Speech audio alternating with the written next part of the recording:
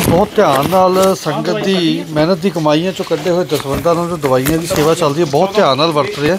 ਜਿਵੇਂ ਹੁਣ ਇੱਕ ਪੇਸ਼ੈਂਟ ਆ ਭਾਜੀ ਇਹ ਕਿਵੇਂ ਚੱਲਿਆ ਆਪਾਂ ਨੂੰ ਇਹ ਪੇਸ਼ੈਂਟ ਫਰਾਡ ਹੈ ਇਹ ਕਈਆਂ ਕੋਲੋਂ ਦਵਾਈਆਂ ਇਹਨੇ ਲਈਆਂ ਹੋਈਆਂ ਇਸ ਬੰਦੇ ਇਸ ਬੰਦੇ ਨੇ। ਹਾਂ। ਹਾਂਜੀ।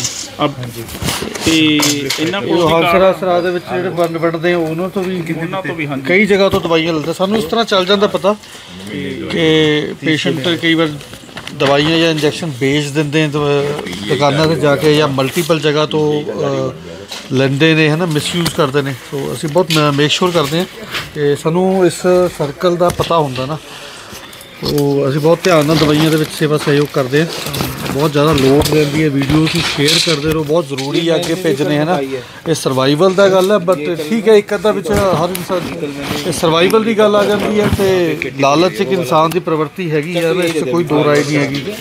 ਤੇ ਤੁਹਾਨੂੰ ਹਮੇਸ਼ਾ ਬੇਨਤੀ ਹੈ ਰਹਿੰਦੇ ਵੀਡੀਓ ਜ਼ਰੂਰ ਸ਼ੇਅਰ ਕਰੋ ਸੇਵਾ ਦੇ ਵਿੱਚ ਜ਼ਰੂਰ ਸਹਿਯੋਗ ਕਰੋ ਪੀਜੀਆਈ ਦੇ ਵਿੱਚ ਬਹੁਤ ਸਾਰੇ ਪੇਸ਼ੈਂਟਾਂ ਨੂੰ ਅਲੱਗ-ਅਲੱਗ ਦਵਾਈਆਂ ਤੋਂ ਲੈ ਕੇ ਆਕਸੀਜਨ ਤੋਂ ਮਸ਼ੀਨਾਂ ਤੋਂ ਲੈ ਕੇ ਹਰ ਜਗ੍ਹਾ ਸੇਵਾ ਦੀ ਲੋੜ ਹੈ ਬਟ ਜੇ ਤੁਸੀਂ ਵੀਡੀਓ ਸ਼ੇਅਰ ਕਰਕੇ ਇਹਨਾਂ ਮਰੀਜ਼ਾਂ ਤੱਕ ਪਹੁੰਚਾਓਗੇ ਤਾਂ ਇਹ ਮਰੀਜ਼ ਅਪਰੋਚ ਅਪਰੋਚ ਕਰ ਸਕਦੇ ਨੇ। ਬਹੁਤ ਸਾਰੇ ਮਰੀਜ਼ਾਂ ਦੇ ਲਗਾਤਾਰ ਆਪਰੇਸ਼ਨ ਸਪਾਂਸਰ ਕੀਤੇ ਜਾਂਦੇ ਨੇ ਹਨਾ? ਪਰ ਤੁਹਾਡੇ ਵੀਡੀਓ ਸ਼ੇਅਰ ਕਰਨੇ ਆਪਣੇ ਆਪ 'ਚ ਬਹੁਤ ਜ਼ਿਆਦਾ ਜ਼ਰੂਰੀ ਹੈ ਆਨਲਾਈਨ ਸੇਵਾ ਹੈ ਨਾ ਤੁਸੀਂ ਜ਼ਰੂਰ ਸ਼ੇਅਰ ਕਰਿਆ ਕਰੋ ਆਪਣੇ ਸ਼ੇਅਰ ਦੀ ਵੈਲਿਊ ਸਮਝੋ। ਬਹੁਤ ਜ਼ਰੂਰੀ ਹੈ ਸੇਵਾ।